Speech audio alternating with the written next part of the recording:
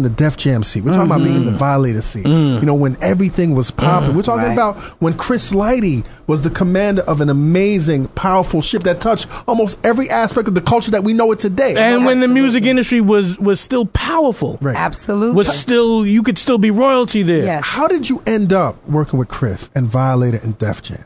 Well, oh gosh, you want that long story, huh? Okay. Let's make it short. Let's, make, it short. Where do I take it from? Um, I was working with Trackmasters Mm-hmm. and beating the pavement. Didn't have a Rolodex or any contacts. I sat there. You know, we hung our little shingle in the basement of a residential building. I don't know if you guys remember Steve Salem. Mm-hmm. Yes, and I remember Steve Steve was yes. in the building with us too, and waited for the phone to ring.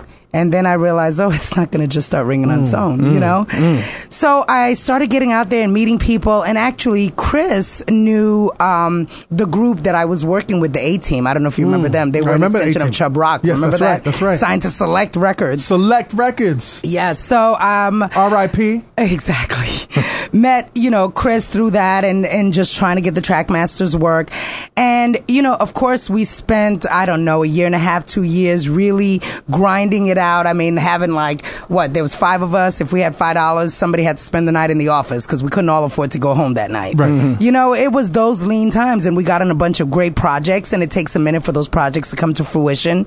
And, um, the minute, you know, things started hitting the airwaves and, all the hard work that we had put in finally started paying off. You know, dudes started looking at each other like, "Yo, you wasn't in the studio that night when we wrote that. What do you mean? You wasn't shooting with me in the gym. and you wasn't doing, you know, and I was like, ah, here we go. Right. There we go. You know, so unfortunately, the guys decided that they were going to go their separate ways, and I was actually going to go out to Atlanta. To, do, to do what? Uh, to work with Alex, who was working with LA and, and Perry at the time, Pebbles, his Mm. okay. wife. So we were going to work there, and uh, I went to see Chris because at that point we had developed, you know, a friendship, and Right. you know we were doing A all these things. A, a rapport, absolutely. And I was like, yeah, you know, this is what's happening with the guys, and I'm probably going to go to Atlanta. And Chris was like, nah, you know, why are you going to do that? You need to stay here. I'm like, stay here and do, you know, what? I knew what the opportunity was out there, and he at the time was um, still at Rush, Hmm. and Rush was just kind of, you know.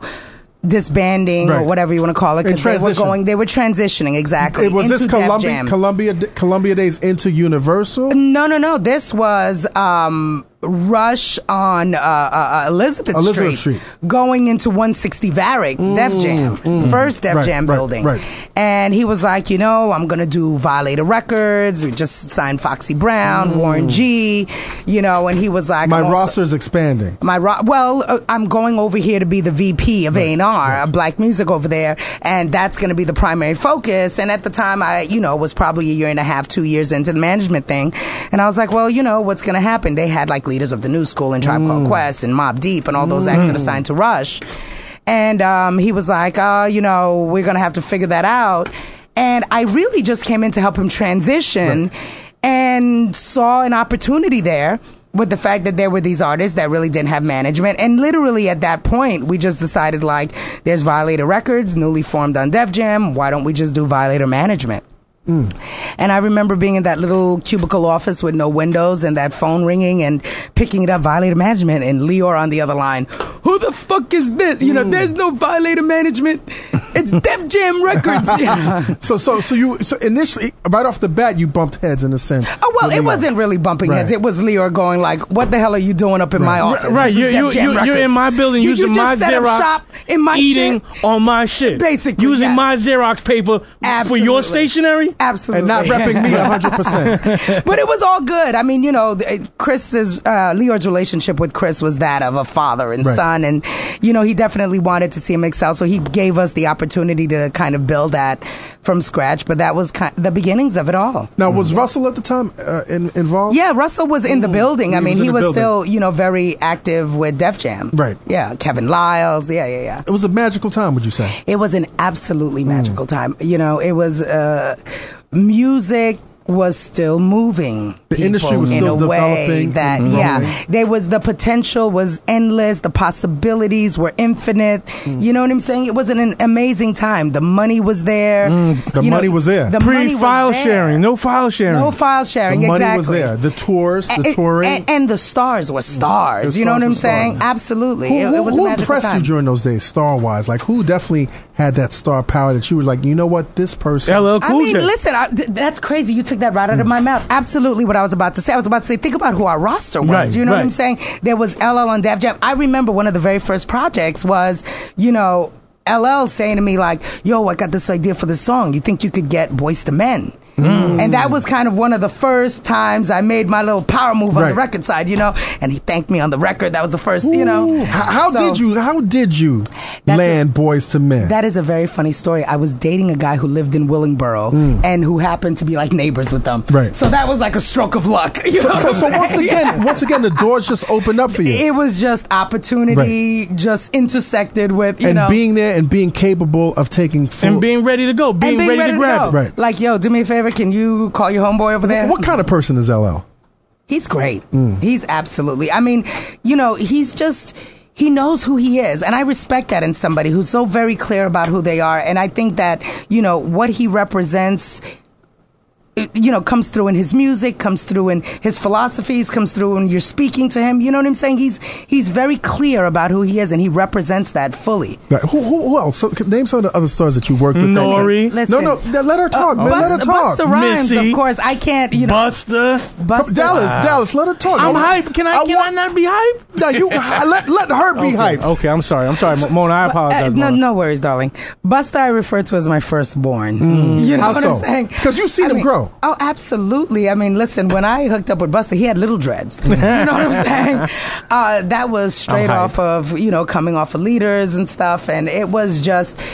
The the power that he commanded on that stage, you knew you were witnessing something special. Mm. You know what I'm saying? And that's what I'm talking about when I go back to what stars were. They moved you in a way. The music mm-hmm. that they were making, watching them perform, you know, it did something to you where you knew you were making magic. You knew you, you were changing, shifting. You know what I'm saying? What was Energy. Busta's mind state making that transition from being in a group to go embarking on a solo career? Listen, Busta was the Beyonce of Destiny Child. He knew Mm. He knew. was Mhm. destined He knew. for. He You knew. know, it was all very clear. If he, if anybody didn't know, they were blind, deaf, and dumb. Let's keep it real. You know what I'm saying? He's uh, the, his presence is you know says it all. His presence is overwhelming. I mean, and to still be here doing what he does. Mona Scott Damn it, turning sorry, herself guys. off. To No, still no, be no. here. Go in. Go in. doing what he does so many years later. I mean, there are certain things that defy logic, that defy convention. You know, and I and I'm one of those people. And, and that'll take us into my transition into television. You know, I'm one of those people that believes that there are certain, you know, people who are gifted. And when I say gifted, I'm not saying it kind of as a rhetorical phrase. I'm talking about this is some otherworldly, mm. you know, thing that has been bestowed on you. This, mis- en- it's this a mystical thing. Absolutely. Mm-hmm. It is a mystical thing that defies convention. It defies explanation. When, Mm. you, you know, Busta Rhymes does that to me. When I watch him perform, when I, you know, Missy in the studio does that to me. Like, where is this coming from? Mm. You know, Mona, I would say, I would argue that, you know, and, and we've had we've had hundreds of stars that we grew up with, that we grew up appreciating, being fans of.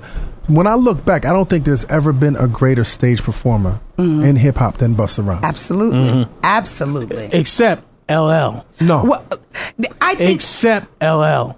let Mo, what was up, Mona? Okay. I mean, listen, they both bring something incredibly unique. You know what I'm saying? They mm-hmm. both are deep mm-hmm. with and I'm not hits. taking Yes. anything away from Yes. LL. Yes. There's, th- th- I mean, LL is a lyricist. He spits those rhymes and they're undeniable and he's got an energy level that Yes. gets you revved up. LL Busta is an entertainer in a different way. Okay, You know okay, what I'm saying? okay. His flows, he ch- switches mm-hmm. them up, everything about the show. He puts on a show. He Right. and Spliff Star get on that stage Right. and they entertain you. I, I mean, Busta Rhymes for 25, 30 minutes brings such a level of energy that you know you it, it's it's incomparable. No A- one does that. For but LL, my in my opinion, doesn't bring it as as frenetic as Busta, but goes an hour long, and, he- you. L- L- by his damn self. Yes, Say that. By his back damn self. his damn inside self. to the Absolutely. Uh, uh, uh, uh, never, never before have I seen one rap performer do that amount of time, that Well, LL is a mountain. He's a mountain, and he's his presence. I is think you gonna have to be pause yourself on that. Mm-hmm. Is, is, is, that, is that a pause? I, a I, I don't know. He was He's he a was mountain. mountain. Is- he is that was a- Nah, you str- you reaching on that. One. Okay, okay, Yeah, okay. yeah, yeah, I reach- rescind, I rescind that pause. I rescind. I remember I rescind seeing that pause. Bust at a small venue. that. Remember Transit, the clothing store that opened Yes. up on Yes, Broadway? Yes. I remember he performed Yep. for the opening of Yep, that. absolutely. And I saw this brother hanging off the fucking Craziness.